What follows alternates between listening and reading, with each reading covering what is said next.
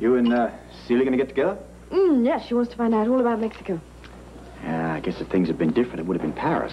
Well, we'll go to Paris someday. How does next month sound? You're not serious. Well, you don't want to go. Of course I want to go. I can't believe it. What made you think of going to Paris? Well, I still have a spot of the adventurous spirit in me. Well, maybe we'll find an adventure in Paris. Mm. Oh, that's so exciting.